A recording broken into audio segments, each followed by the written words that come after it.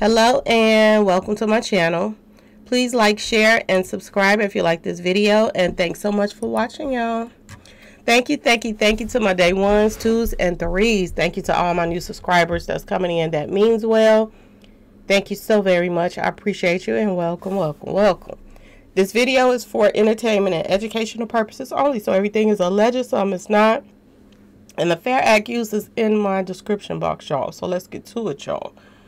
So, there was this big shedingy yesterday at the Lollapalooza, y'all, okay, in Chicago. And Lil Durk, allegedly, they're saying that he performed last night. And Lil Durk got hit in the face while he was on the stage by an explosion during his set.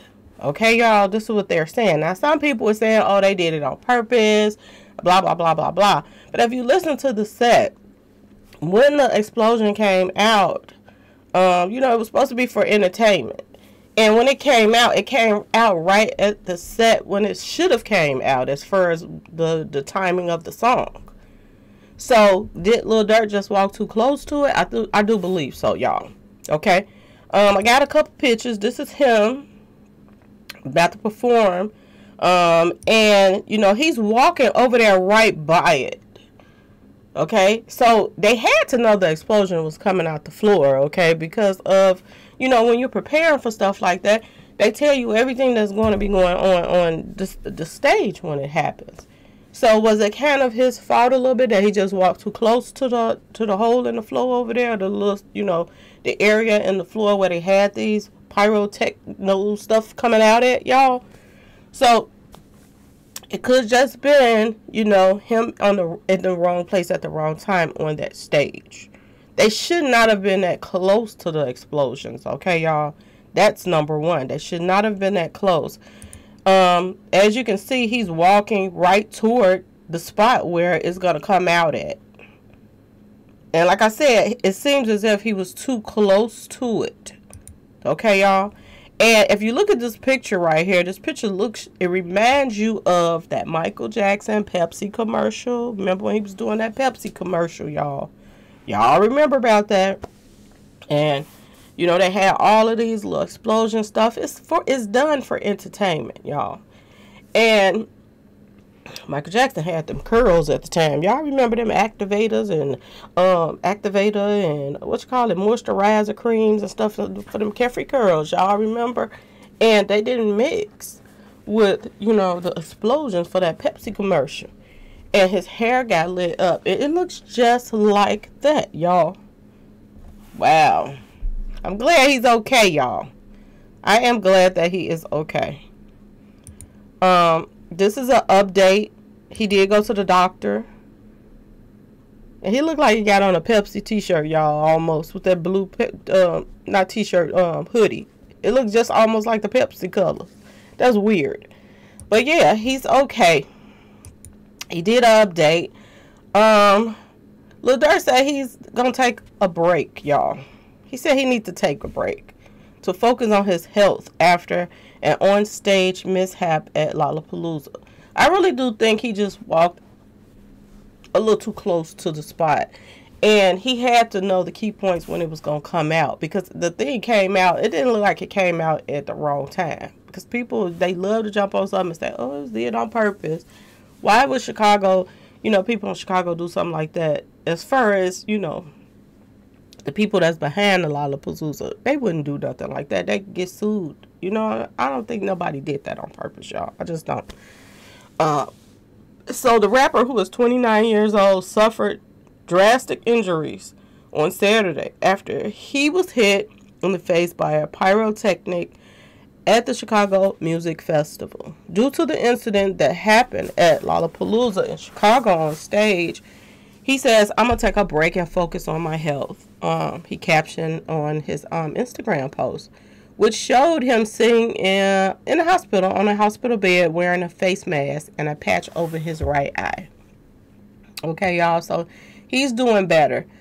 Uh, he said he finished his performance yesterday for his fans. He ap- appreciate them. So after he was hit, he still finished the performance. So that was that was a good thing. That means, you know, he really cared about his fans for him to do that. He wanted to finish that set and sing that song that everybody wanted him to sing. Okay, y'all, or rap, whatever. So, um, they said the footage went viral on social media, showing Lil Durk walking across the stage before getting struck directly in the face by two pillars of smoke. So, wow, it was kind of bad, y'all. They said he cut then covers his face with his t-shirt as the music um cuts off. So he's doing good, y'all. He's doing better. He he did go to the doctor and everything. But yeah. You gotta be careful when you putting that type of stuff on the stage, y'all. I know they want to excite the crowd and all of that other stuff. But you have to be careful when you want all of that flashy stuff on the scene. You have to be careful where it's coming out at, when it's going up and coming down, what kind of chemicals you got in your hair. Because he could have easily had some oily stuff in his hair and it could have lit his hair. You know, you have to just be careful about stuff like this when you're performing. You know, the, the celebrities, they have to make sure when they having this type of explosions on the stage or some kind of you know sparkly stuff going in the air and this and that and this that they're not that close to it when it's coming up or coming down okay y'all and they have to be careful what they putting in their hair because these chemicals don't mix with all of that boom boom stuff so you have to be careful you got to be careful. You got to keep up. You know, I know that a lot of people have dancers and stuff, and he wasn't really dancing. He just pacing kind of crap back and forth across the stage. But with so much excitement going on, you rapping your songs and stuff like that, you know, people sometimes forget you know that you can't you got to be so many steps away from where the boom is coming from even though you want the boom kind of around you so it you know it get the effects from it for the song and everything but you have to not be that close y'all. You just have to not be. So people just got to be more careful. That's all that is. But i i don't think it was no foul play in that in anybody trying to hurt Lil Durk okay? Um a lot of people from chicago they love them some little some Lil Durk so i just don't see that okay like I said, it wasn't like it came out at an odd moment. It came out right, the boom came out right when the song was, you know, about to be performed and they was about to get go in on it, okay, y'all? So it came out at the right time, okay? So um get well, little Durk, and be careful next time when you got that kind of stuff out there on the stage, okay, y'all? But they say he did do his thing out there, so um, you know, I'm happy everything worked out and it wasn't worse than it was. Because look at Michael Jackson, y'all. They had to cut all his hair off, all kind of stuff. He had so many burns on him. It was bad, y'all. Okay? So uh, I don't know how his eye looking under there, but for him to still do the performance, it's, you know, it wasn't like worse as Michael Jackson was, y'all. But it's still bad. The point that look at his face, okay, y'all? Anyway, y'all, please like, share, and subscribe if you like this video. And thanks so much for watching, y'all. Peace.